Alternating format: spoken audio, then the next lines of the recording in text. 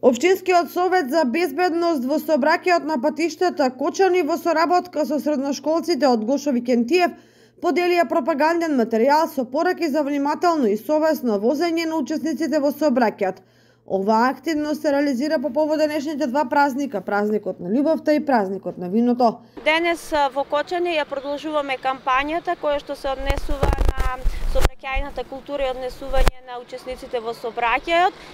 Денешниот ден и денешниот празник ќе го искористиме да упатиме една силна порака до учесниците во собраќајот за внимателно воде, возење и почитување на правилата прописите во собраќајот да имаат убав празничен ден, да возат одговорно и да внимаваат на себе и на останатите безбедности во сообраќајот. Преку овие флаери, членовите на Обштинскиот совет за безбедност во сообраќајот ни патиштата во Кочани упати порака да се вози одговорно за празникот и да се почитуваат правилата за безбеден сообраќај.